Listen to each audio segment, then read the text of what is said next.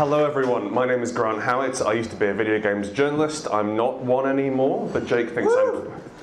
yeah, yeah, sure. Uh, but Jake thinks I'm funny, so here we are.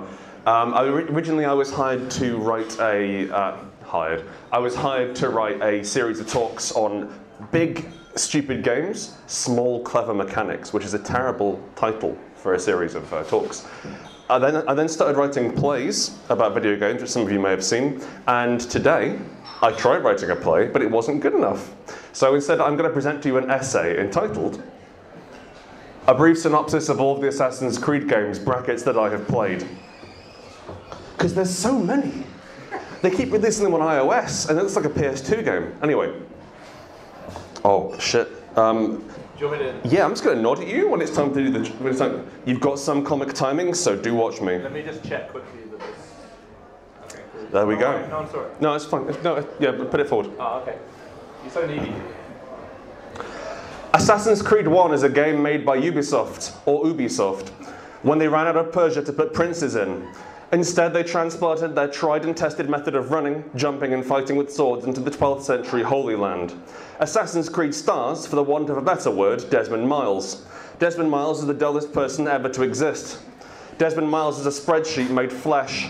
Desmond Miles' favourite food is flour, and his favourite colour is none. He is held against his will by a company called Abstergo, which sounds a lot like a green liquid used to clean tiled floors.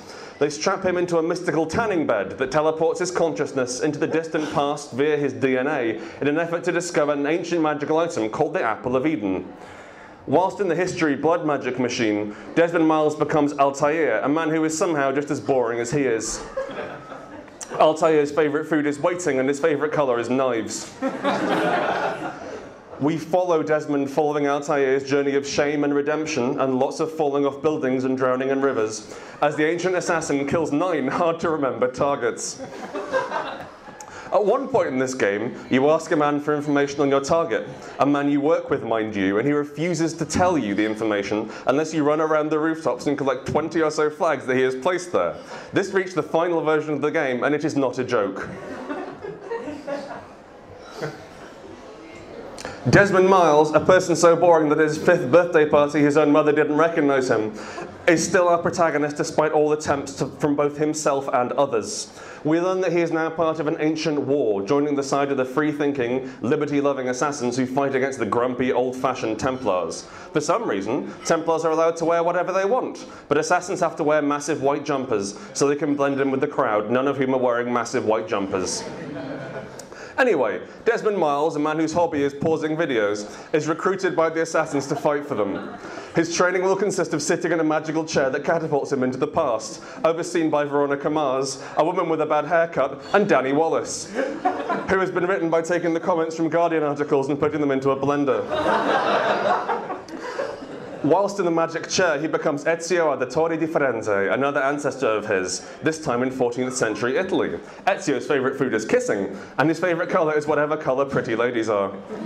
Ezio's dad and assorted brothers are killed by the Templars, and his family run out of town and are forced to scrape together a living in a giant mansion with loads of friends.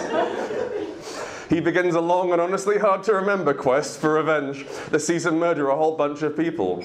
The game ends with him duffing up the Pope. Great! And descending into a magical cavern. Also great! Where he meets a digital ghost from the distant past that speaks directly to Desmond Miles, and therefore the player, which marked the cleverest that the backstory for Assassin's Creed had ever been and would indeed ever be. The meta plot of this game is a solar flare is coming. That is all.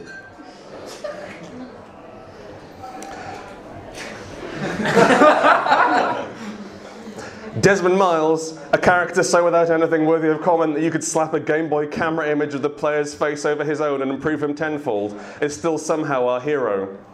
The main difference between this game and the previous one is that you get a special meter at the top of your screen, and you can use it to summon other assassins who undertake special missions, such as running off in the, one, in the wrong direction, standing motionless on a rooftop, or sprinting headlong into groups of armed men.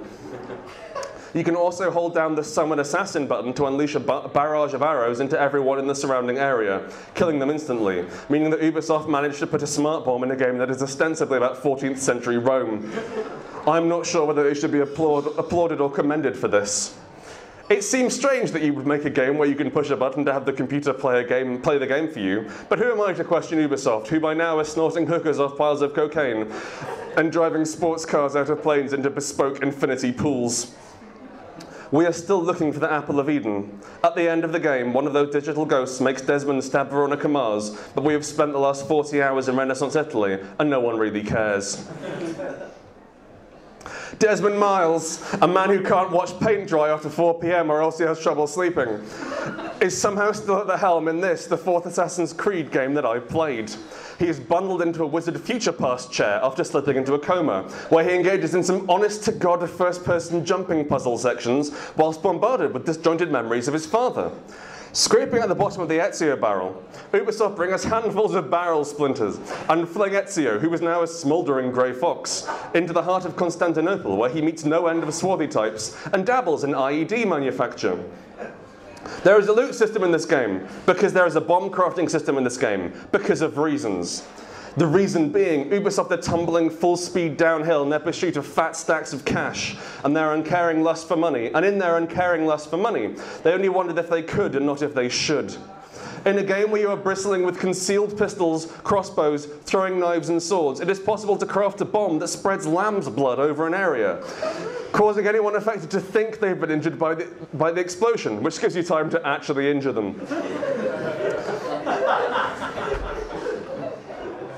This is now the most Assassin's Creed shit available. Hard to get, impossible to use, and almost entirely without effect.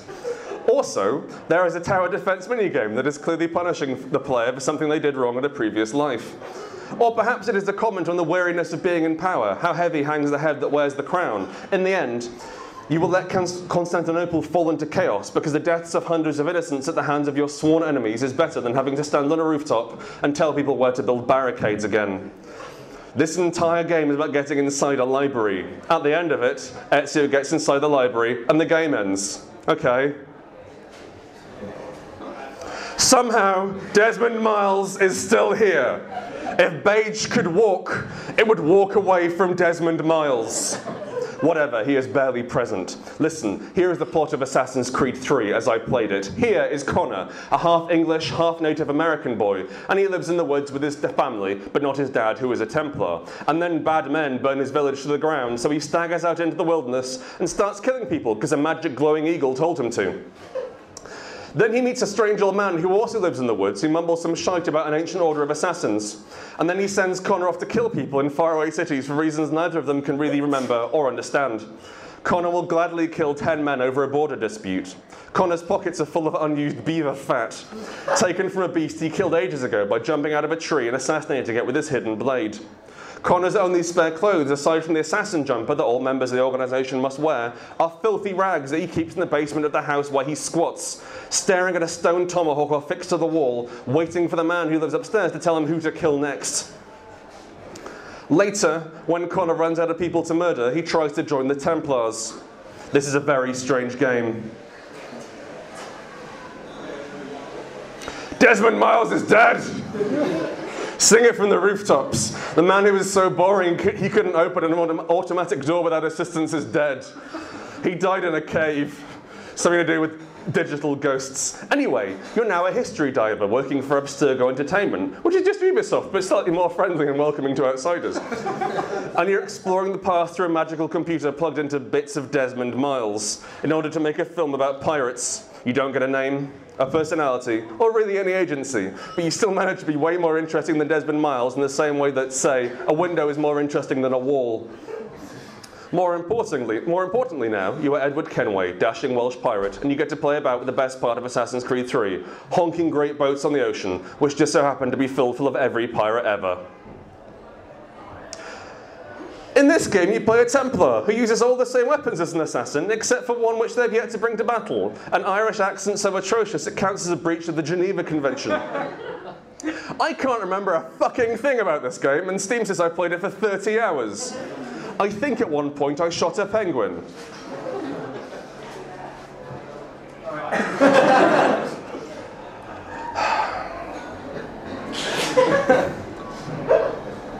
Call blimey apples and governor, it's London town. Up the halfpenny, round your fathers, roll out the old dog and chain, etc., etc. When you play Assassin's Creed Syndicate, you're playing a computer game, and in that computer game, you're also playing a computer game, which is identical to the computer game Assassin's Creed Syndicate. Got that? You control an assassin initiate who controls Jacob and or Evie Fry, a right pair of chancers who wear top hats and hit people with sticks. Set in London at the tail end of the Industrial Revolution, Syndicate takes the puzzle-themed free-running that was the mark of its previous games and replaces it entirely with a grappling hook mounted to each character's hand, meaning that you can go up as far as you like, as quick as you like. And it all feels like when you first leave home and live on your own, and you're in the shops and you see a whole tub of ice cream and you think, no one can stop me from eating a whole tub of ice cream now. So you buy it and take it home and eat it in one sitting, and you feel tremendously sick, and you're like, this is why they tried to stop me. This is horrible. Is this what the series has become? No climbing and carriages to replace lateral traversal and daft upgrade trees in the same bloody combat over and over, sitting, holding block, waiting for an enemy to mess up so you can push the kill person button and move on to the next part of the game. Nothing but a dirty map of London covered in missions you don't care about and don't really want to do anyway, but you do them in order to clean up the map. And you're old and your hair is greying and your knee hurts and you just want it to be 2008 again. Would that be so bad? Would that ruin everything to have another shot, to live it all again and do it louder, brighter, better, more vibrant? Anyway, at one point you get to carry a dog in a bag, which invalidates everything I just said and made me laugh like a child. 10 out of 10.